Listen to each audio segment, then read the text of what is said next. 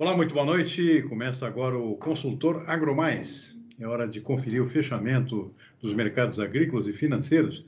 Nesta quarta-feira, estamos na metade da semana. Tudo isso aqui no seu canal AgroMais, 24 horas de agroinformação. E nós começamos o programa desta quarta-feira analisando inicialmente o mercado financeiro. O dólar fechou em alta nesta quarta-feira, 0,5%, conforme a gente vê na ilustração, R$ 5,22 a cotação de fechamento do mercado de câmbio no dia de hoje. Índice Bovespa, mercado de ações, na B3, com leve queda de 0,1% a 122.056 pontos no encerramento dos negócios do dia. Lá fora, o índice Dow Jones, da Bolsa de Nova York, fechou em alta, 0,6%. Petróleo voltou a subir nessa quarta-feira, o WTI fechou em alta de 1,6% lá na Bolsa de Nova York. Em Londres, petróleo tipo Brent com alta também de 1,3%. Preços é, do Brent na casa dos 71 dólares e 50 centavos pelo barril. Mercado de commodities agrícolas, Bolsa de Chicago. Vamos lá ver a, o comportamento das bolsas internacionais nesta quarta-feira. Soja com leve alta, quase estável, 0,1% mercado na expectativa da divulgação amanhã, amanhã é um dia importante para o mercado de grão, sobretudo, com a divulgação do novo relatório mensal do USDA, o Departamento de Agricultura dos Estados Unidos.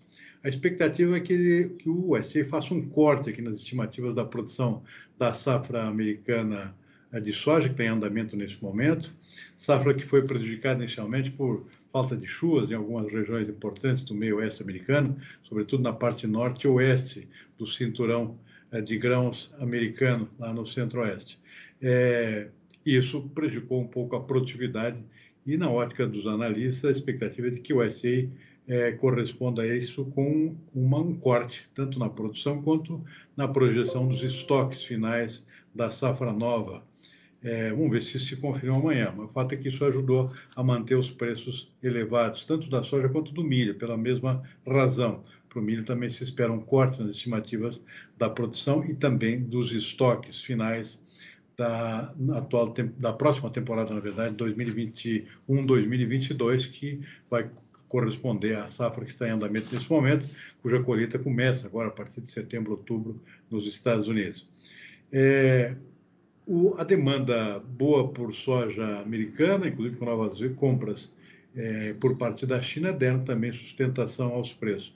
A volta das chuvas em regiões que estavam com carência de umidade contrabalançaram um pouco o ímpeto altista e acabaram determinando aqui um comportamento de alta muito pequeno, muito moderado nos preços da soja.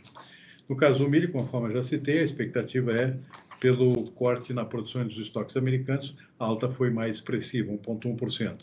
O trigo fechou praticamente no 0 a 0, aliás, com o primeiro contrato até fechando com leve queda, 0 é, 3%, é, e o contrato seguinte, contrato de dezembro, aqui praticamente estável, no fechamento dos negócios hoje. Foi um dia de realização de lucros na Bolsa de Chicago, mas o mercado também está na expectativa da divulgação amanhã desse relatório do SA, que deve promover cortes nos estoques, não só dos Estados Unidos, mas também globais porque falta de chuvas, com a característica da atual safra de primavera no hemisfério norte, afetou safra dos Estados Unidos, do Canadá, é, na Rússia também, na Rússia mais até por excesso de chuvas, também partes da Europa, como a França, por exemplo. Tudo com problemas climáticos aqui afetando a produção global, e isso deve determinar um corte nos estoques, é, não só dos Estados Unidos, mas também temos mundiais no relatório que sai amanhã pelo USDA. E arroz fechou em queda, 0,4%. Vamos para a Bolsa de Nova York. York com preços em queda no caso do algodão, algodão 1,2%, expectativa que o SE, ao contrário dos grãos, promova uma elevação na expectativa da safra americana de algodão. Lembrando que os Estados Unidos são os maiores exportadores mundiais da fibra, e a expectativa é que haja uma correção para cima na safra, na estimativa da produção americana. E isso determinou essa queda hoje lá na Bolsa de Nova York. É basicamente uma correção técnica e, além disso, essa expectativa de aumento da safra, da estimativa da safra. Café arábica com dia de muita volatilidade, como tem sido característico nos últimos dias, acabou subindo um ponto percentual, basicamente por fatores técnicos. Essa alta do petróleo também acabou contribuindo para a elevação dos preços em algumas commodities em Nova York, café foi uma delas. É, o robusto em Londres também subiu um pouquinho, 0,1%. Açúcar caiu hoje. Um dia de consolidação depois da forte alta de ontem. Ontem a gente viu o açúcar disparando, o açúcar bruto em Nova York, 6,1%, diante de preocupações com a safra aqui do Brasil. Safra de cana muito afetada por inicialmente por falta de chuvas, depois por geadas. Isso deve reduzir a produção brasileira de açúcar. O Brasil é o maior produtor e exportador mundial, claro, isso tem impacto direto nos preços internacionais. Então, depois da alta de ontem, hoje uma pequena correção aqui, uma consolidação com uma pequena queda de 0,6%, conforme a gente vê aí no nosso gráfico. O que mais? Para finalizar, aqui temos o suco de laranja estável hoje, sem alterações. Cacau em Nova York subiu 1,7%. Boi gordo aqui na B3 voltou a subir hoje. 0,3%, a preços em 320 reais a arroba, o contrato futuro de setembro. E o dólar, conforme a gente já viu, com alta de 0,5%. Muito bem, vamos para a nossa entrevista ao vivo do programa desta quarta-feira. Tenho a satisfação de conversar agora com Décio Teixeira, ele que é presidente da Associação dos Produtores de Soja do Rio Grande do Sul, a ProSoja RS. Décio Teixeira, muito boa noite, muito obrigado por nos atender mais uma vez aqui no nosso consultor AgroMais.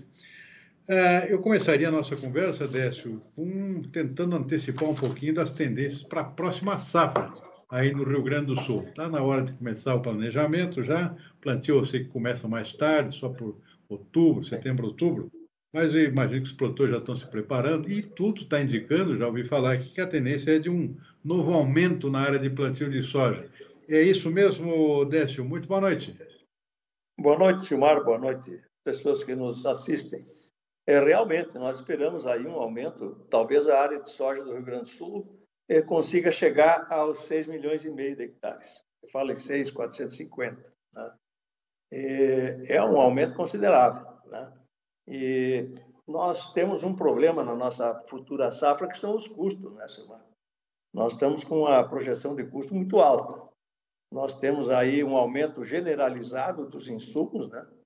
tal como fertilizantes, herbicidas, fungicidas, enfim, desde o petróleo. Nós tivemos alta em todos os nossos custos.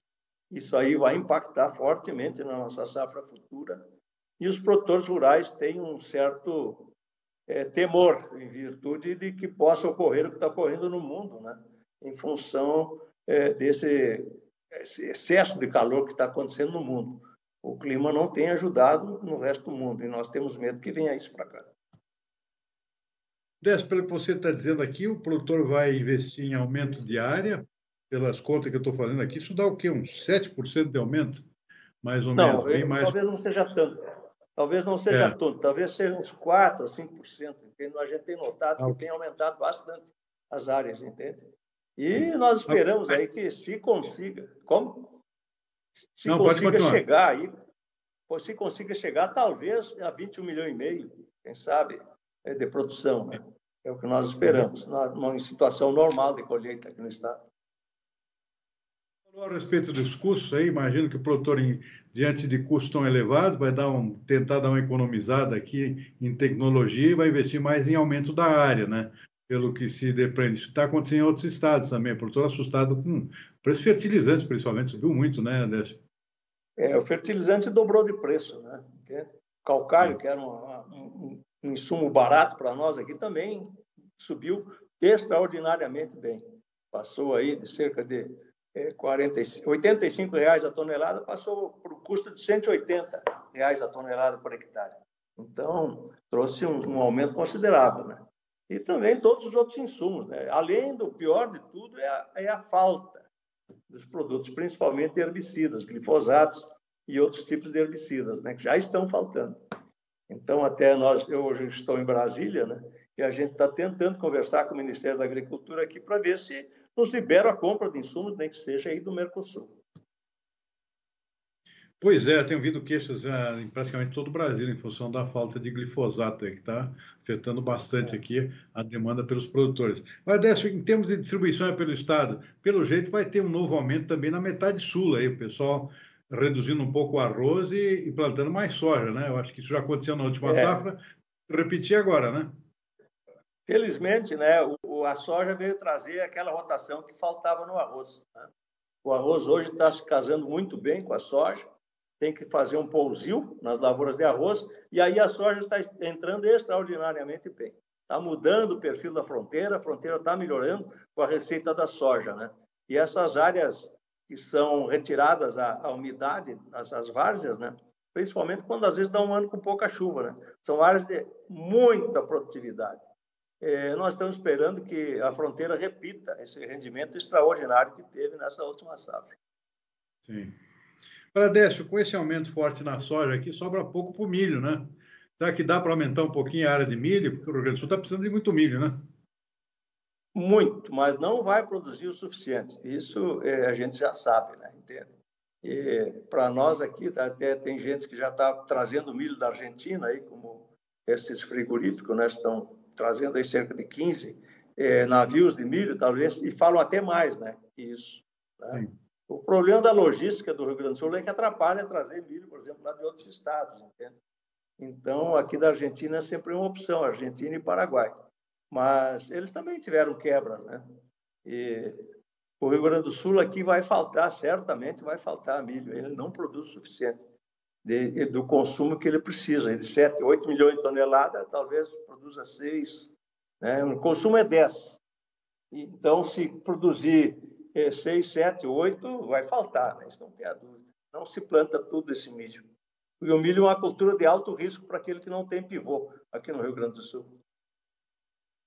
Isso, né? O produtor com pivô aí possivelmente vai ter, vai tentar aumentar um pouquinho, porque o preço está bom, né? Mas eu acho que quem trabalha com milho de sequeira dificilmente vai arriscar, né? Pois é, mas tem outros detalhes aqui. Nosso estado está virando quase que o Nordeste, né? porque os níveis dos rios e das barragens estão muito baixos ainda, né? Teria que chover mais para aumentar as reservas hídricas para poder ter uma garantia de irrigação, né? Nós aqui tem, uhum. tá, tem chovido muito pouco. Essa última chuva mesmo, na nossa região, choveu 6 milímetros, né? A chuva à frente passou rapidamente e foi para o Paraná, né? Então, nossos trigos aqui estão precisando de umidade para desenvolverem, né? Até para aplicação de certos insumos, aí estão atrasando, entende? Então, o Rio Grande do Sul já está se prevendo aí que está com pouca chuva e, e, tomara que não continue na primavera, isso e no verão. Sim. Pois é, eu vi gente se queixando a questão do trigo, que até agora tem andado muito bem, a área aumentou muito, né? É, a área de plantio, Sim. o preço estava bom. Agora o risco é. pela frente, não só de falta de chuva, mas tem mais geada prevista pela frente aí, né? O clima não. não pois é, mas o nosso trigo, o nosso trigo aqui no Rio Grande do Sul só mesmo aqueles que se antecipam no plantio poderão perder, né?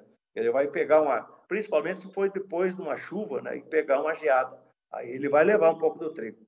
Mas nós temos cerca aí de um milhão de hectares de trigo plantado, né? E vamos esperar uma produtividade boa, foram bem feitas as lavouras, entende? Preço está bom, em torno de 88 a 90 reais, né? E, se tivermos uma safra boa, vai ser outra receita muito boa para os produtores. Nós estamos precisando dessas receitas. É. Para finalizar, uh, Décio, voltando ainda para a soja, com esses custos mais elevados, o... mas se mantém uma margem positiva ainda, o preço ainda compensa, né? Só que está um pouco mais apertado. Não, pois é. é pois é, Silmar. Se ficar esses preços, lógico que compensa, né? Mas o nosso temor é que chegue na safra que vem esses preços não se garantem, entende? Nosso custo aumentou e nós é, não sabemos se volta. Agora, a nossa cotação na Bolsa é um vai e vem diário, né? que o senhor conhece bem, melhor que nós. Né?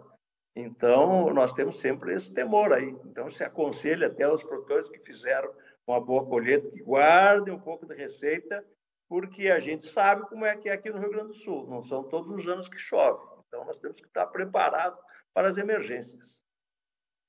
E pelo que se sabe, ao contrário do ano passado, tem pouca coisa vendida antecipada, né? com preços elevados, né? Então, se o preço cair, realmente depois a situação se complica, né? Muito pouco vendido futuro, talvez agora com essa outra reação que está dando na bolsa, aí o pessoal comece ir chegando mais próximo também do plantio, que aqui vai se iniciar no mês de outubro, né? De outubro até o final de janeiro, que seria a nossa janela aqui, de, que permitida para plantio, né? Mesmo para aqueles que fizerem milho e depois quiserem plantar soja, né? Então, se prevê que se faça esse plantio no tempo certo, né, para poder ter uma boa produtividade. Né? Muito bem, eu conversei com Décio Teixeira, presidente da ProSoja do Rio Grande do Sul. É, Décio, muitíssimo obrigado pela entrevista. É, uma boa noite, um bom resto de semana aí e vamos torcer para que chova na hora certa aí para a gauchada colher uma boa safra de trigo e poder plantar uma boa safra de soja. Muito boa noite, tá muito certo. obrigado. Boa noite, eu que agradeço a oportunidade. Um grande abraço. Até a próxima, obrigado. Até a próxima. Muito bem, vamos em frente com o nosso consultor agromais desta quarta-feira. Vamos dar uma conferida rápida aqui nos preços do mercado físico.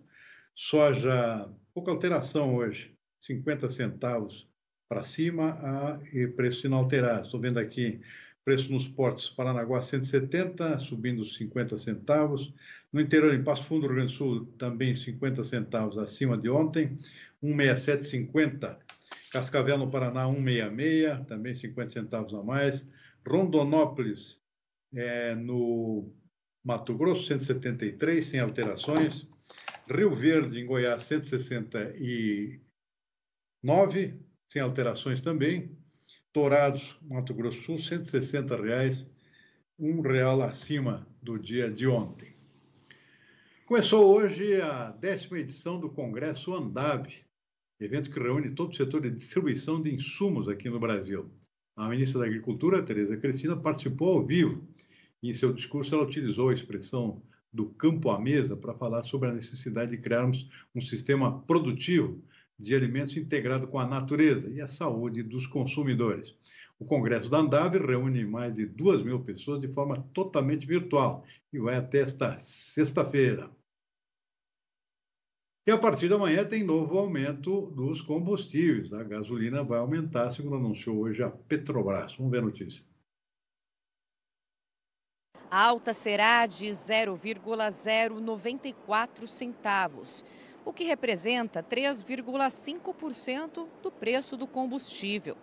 Com a mudança, o litro vai custar R$ 3,78 o último reajuste feito pela estatal foi no início de julho deste ano.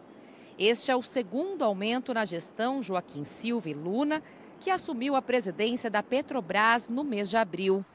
A estatal informou que o aumento deve causar um impacto no valor praticado nas bombas de combustível, mas lembrou que, até chegar ao consumidor, outros tributos federais e estaduais são adicionados ao preço da gasolina. E o Ministério da Agricultura anunciou agora há pouco o levantamento com os resultados das exportações do agronegócio no mês de julho. Resultado novamente extraordinário, uma exportação recorde de 11 bilhões e 290 é, milhões de dólares, o valor exportado em julho, é um novo recorde o mês. Destaque para exportações de soja, que apesar de queda no volume, é, cresceram em valor em função de preços mais elevados no mercado internacional. Da mesma forma, as carnes, todas elas crescendo também em valor, apesar de queda de algumas quedas em volume, é, mas preços compensando largamente é, qualquer resultado negativo em termos de volume exportado. Isso tem sido uma característica esse ano, preços internacionais de praticamente todas as commodities com preços bastante elevados, com destaque especialmente para os grãos e também para as carnes. Lamentavelmente, aqui nós vamos ter uma queda nas, no volume das exportações de milho daqui para frente. É época agora de exportações de milho, tem pouco milho esse ano em função da quebra monumental da safra, da segunda safra, que é a safra principal do país, com perdas aqui de cerca de 20 milhões de toneladas abaixo daquilo que poderia ser produzido. Isso, claro, vai impactar diretamente no volume das exportações do cereal.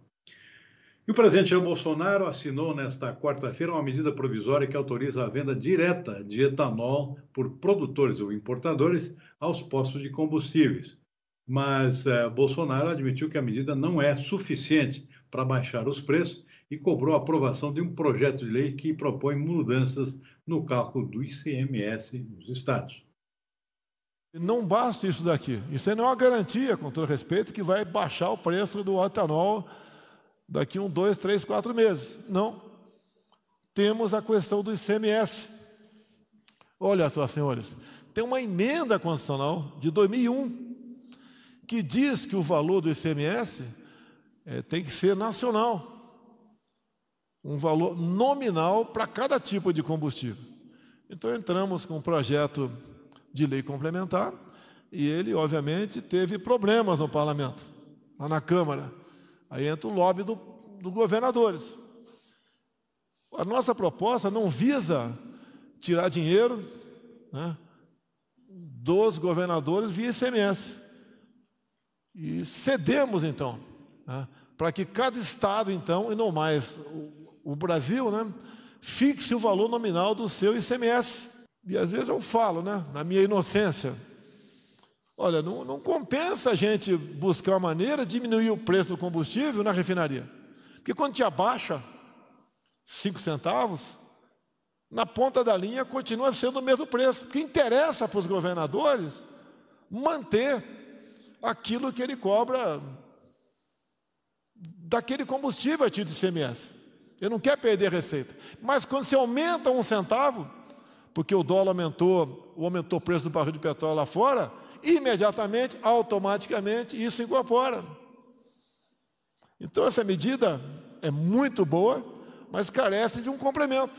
Passa pelo parlamento brasileiro. Aí sim, nós fixando o valor do ICMS, que está previsto numa emenda constitucional, não é nem vontade minha, que está há 20 anos sem ser regulamentada, a gente vai poder falar que o preço do combustível vai começar a baixar. É, e vai ser difícil, mesmo com esse tipo de medida, porque os preços do etanol hoje, por exemplo, deram uma, uma disparada aqui, refletindo a tendência de uma produção menor esse ano, em função daquilo que a gente vem comentando aqui, que é uma redução muito forte na safra de cana, em função do clima, falta de chuva, depois das geadas. Isso reduz a disponibilidade de cana-de-açúcar, consequentemente, diminui também a tendência de produção de etanol. É, tem que disputar com açúcar, aí a preferência das usinas. O açúcar com preços muito bons no mercado internacional, isso acaba aí pressionando aqui a, o, o eventual aumento necessário na produção de etanol. Tendência de expansão da área de plantio de soja em áreas de pecuária pode dar uma espremida aqui na, na oferta de gado pronto para a próxima temporada. Isso foi um assunto é, sobre o qual conversei hoje à tarde com a diretora da Agrifato Consultoria, Lígia Pimentel sobre essa tendência que a gente vendo aqui, com tendência de um grande aumento na área de soja em área de pecuária. Vamos ver. Essa tendência ela vem de uma implementação maior de tecnologia na pecuária. Isso aumenta a produtividade, a gente consegue produzir mais, é, pensando de uma maneira coletiva, né? Pecuária como um todo. A gente consegue produzir mais numa área menor, e aí as áreas menos produtivas vão cedendo área para a agricultura né, que normalmente traz preços melhores. E isso costuma se acelerar, esse movimento ele se acelera é, em anos em que a soja se valoriza acima da média, que justamente foi o que nós vivemos aí nesse último biênio, vamos falar. Então, é, isso acaba trazendo um movimento de substituição de áreas de pastagem, principalmente as menos produtivas, por culturas que tenham maior rentabilidade ou que estejam estrelando aí, né, entre as commodities que mais valorizam, pensando em agri, né, commodities agri. Uhum.